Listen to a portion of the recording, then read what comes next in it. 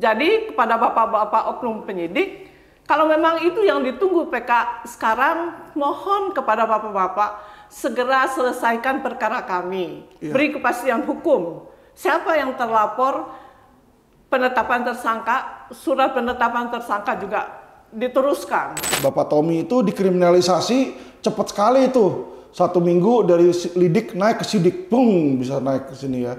Ini kasus tahunan teman-teman, tujuh tahun mencari keadilan. Jadi tolonglah Pak Polisi, kalau Bapak Polisi, Bapak Kapolri bilang bahwa hukum tidak akan lagi tajam ke bawah, tapi juga tajam ke atas. Mohon maaf Pak Kapolri, kami berdua belum melihat tajamnya hukum itu di dalam kasus Prof Ing. Iya. Ya toh, kalau tajam harusnya cepat. Kalau tajam. Tapi karena ini lama, kami merasa ini bukan hanya tajam, tapi kasusnya semacam dipeti eskan. Halo, selamat siang. Kembali dengan saya Alvin Lim di Quotient TV. Teman-teman, eh, teman-teman tahu bahwa kita Quotient TV dan LQ Indonesia Law Firm mengawal masyarakat-masyarakat yang tertimpa masalah terutama kasus-kasus hukum ya. Apalagi bukan hanya kasus hukum biasa, tetapi kasus hukum yang dibackingin oleh dugaan oknum-oknum aparat penegak hukum ya, terutama jenderal-jenderal teman-teman ya. Dan salah satu kasus tersebut menimpa seorang guru ya, seorang guru dosen yang eh, kerjanya tuh mencerdaskan masyarakat Indonesia di situ ya. Jadi di sinilah kenapa LQ, terutama saya sendiri sebagai kuasa hukum juga merasa simpati dan merasa ingin membantu sampai hal ini selesai tuntas teman-teman ya. Kalau kita bantu orang setengah-setengah cuma ngomong-ngomong doang apa gunanya di situ teman-teman. Jadi kita kawal dari setiap case. Nah dari yang terakhir kali eh, I- Prof Ing eh, podcast dengan kami sudah ada beberapa perkembangan hukum lagi ya Pak Prof ya. Bisa tolong diceritakan Prof?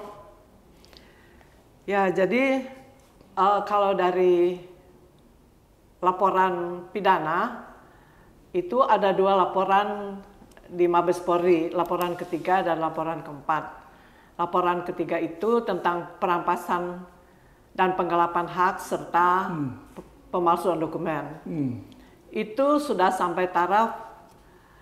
Pada tanggal 16 Januari sudah gelar perkara penetapan tersangka. Yang di dalam SP2HP tahun tanggal 7 Februari dinyatakan eh, sudah ada gelar perkara yang dihadiri oleh beberapa divisi dari Mabes Polri. Kemudian tindak lanjutnya di dalam SP2HP itu katanya akan menindaklanjuti administrasi dan rekomendasi. Tapi sampai sekarang kesimpulan dari gelar perkara itu kami tidak tahu, gitulah. Kami bertanya-tanya kenapa kami tidak boleh tahu gitu kan. Untuk menemui penyidik sangat sulit, banyak eh, sibuk dan sebagainya dan pengacara kami ingin bertemu dengan penyidik harus ada kanit. Kanitnya sangat sibuk, waktu tidak tepat. Itu sudah hampir tiga minggu berturut-turut. Dijanjikan untuk ketemu sampai sekarang tidak terjadi juga. Nah, jadi kami bertanya-tanya apakah ini sama seperti di Polda Sulut. Yang Iya. kami alami di Polda Sulut demikian juga. Begitu sudah naik ke tahap sidit, penentuan Tersangka eh, tersangka mandek mandek. macam-macam alasannya. Ternyata dugaan yang terjadi di Polda Sulut ditunda-tunda penetapan tersangka karena diberi kesempatan kepada terlapor untuk menggugat kami kembali di pengadilan negeri. Padahal kami sudah menang di PT UN. Nah, akhirnya perkara mandek pindah ke Mabes.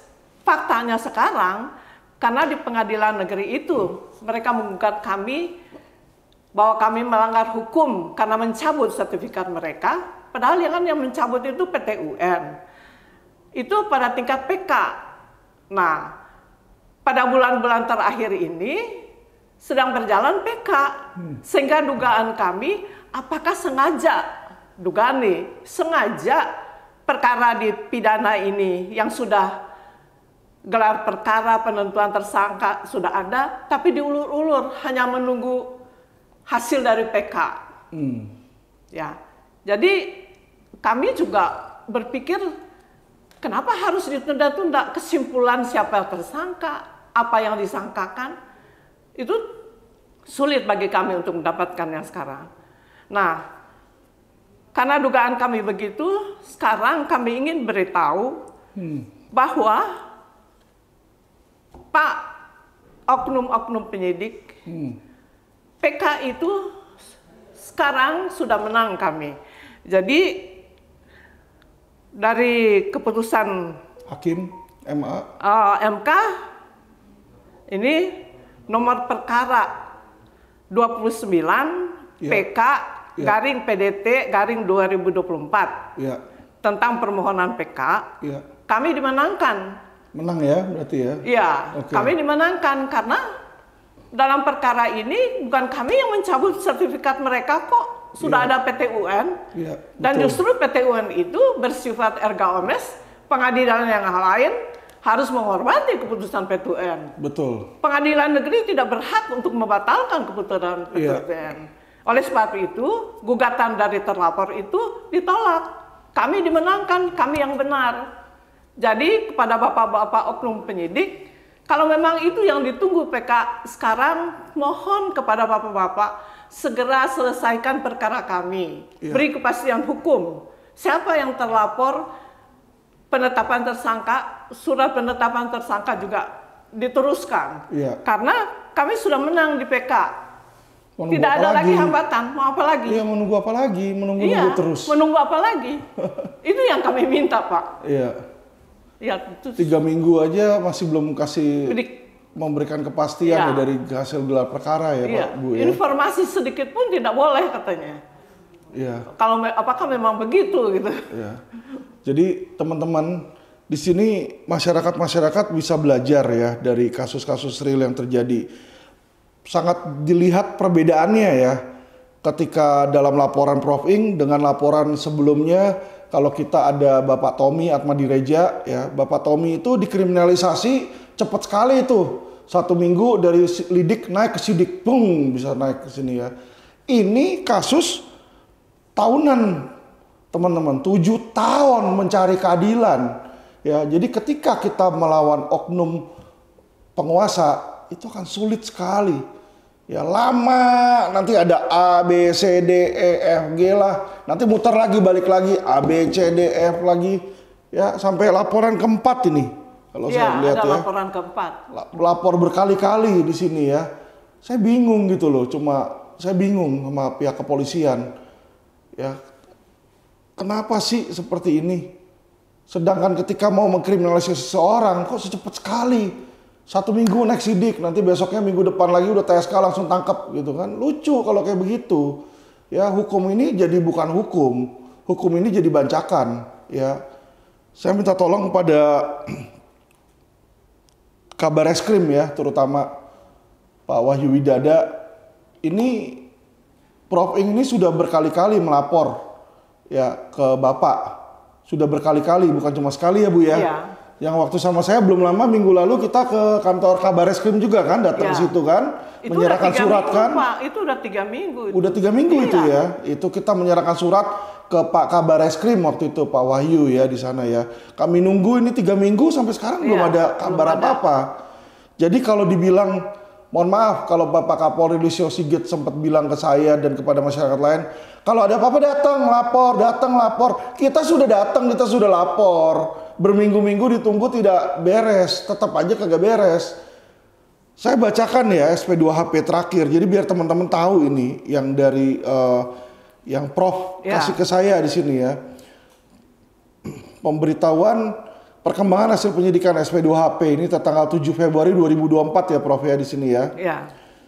Ini kalau dibaca di pasal 3 ditulis di sini di pasal 3 ditulis berkaitan dengan butir 1 dan 2 disampaikan pada hari Selasa tanggal 16 Januari 2024 di ruang Tipidum Bareskrim lantai 4 Kebayoran Baru Jakarta Selatan penyidik unit 3 subdit 2 di Tipidum Bareskrim telah melaksanakan gelar perkara penetapan tersangka. Jadi sudah digelar perkara di penetapan tersangka Iya. yang dihadiri oleh penyidik Madya Bidang Pidum, Anjak Madya Bidang Pidum, perwakilan Biro Wasidik, Itwasum, Divpropam dan Divkum serta perwakilan dari penyidik. Rencana tindak lanjut adalah untuk melengkapi administrasi gelar perkara dan melaksanakan rekomendasi. Jadi kalau saya lihat ini sudah ada rekomendasi untuk penetapan tersangka karena ini gelar perkara untuk gelar perkara penetapan tersangka nih. Ya. Jadi kalau sudah ada di sini rekomendasi dia bilang akan melaksanakan, ini yang kami ingin tahu ya. E, tentu saja sebagai prinsipal Prof Ing mau tahu ya hasil gelar perkara itu ya. Ya. Siapa yang dijadikan tersangka atau apa rekomendasi Ya. tersebut. Jadi kalau saya lihat di surat ini mereka memberikan rekomendasi nih Prof. Saya nggak Ya. tahu rekomendasinya apa, tapi apa pun itu kita ingin tahu toh. Iya. Jadi tolong kepada Bareskrim, terutama Kabar Eskrim atau Karawasidik ya eh, Pak Iwan Kurniawan untuk segera memberikan ini hasil dari eh, Kesimpulan kesimpulan perkara. dari gelar perkara tersebut ya. Karena kenapa? Itulah demi kepastian hukum. Karena kepastian hukum itu penting. Jangan orang udah bertahun-tahun sampai seperti ini tujuh tahun, ini nggak beres-beres ini.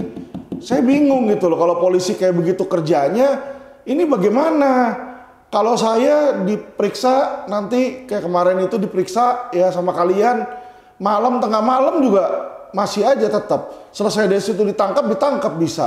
Yang kayak begini oknum-oknum malah sulit. Ini diduga ada oknum backingan jenderal ya Prof ya kalau Ya. nggak salah ya. Sekarang jadi mantan pejabat, mantan jenderal. Jadi mantan jenderal Ah, iya. sekarang ya. Dulunya tapi jenderal ya, Ya. pensiunan dari ke pihak kepolisian juga gitu loh. Jadi teman-teman bisa lihat kalau ada jenderal backingan di belakangnya, jenderal berbintang, ya kan, masyarakat selalu menjadi korban. Ya, saya minta tolong Bapak Kapolri dan Bapak Kabar Eskrim di sini segera berikan kepastian hukum kepada Ya. Prof Ing. Kasihan loh, ini profesor sudah tua, ya kan. Seumur hidup dia berbakti mengajar, ya, Prof. Guru ya, Ya, atau dosen? Ya, Dosen di mana, Prof? IPB. Di IPB. Iya, Bogor. Petani ya, pertanian Pertanian. Bogor. Jadi banyak petani-petani ulung handal Ah, jebolan Bogor ini ya hasil dari profesor Ya. punya ajaran toh iya. di sini. Jadi bagaimana seseorang yang sudah mengabdi kepada bangsa dan negara di sini sekarang tanahnya haknya aja yang yang hasil kerja keras itu dimakan nama mafia tanah ya. Saya minta tolong kemarin ini juga Menteri ATR AHY bilang bahwa harus tegas dan disiplin ya kan terhadap mafia tanah. Pak AHY ini dimulai dari sini Pak AHY, nggak usah jauh-jauh nyarinya. Ya kan?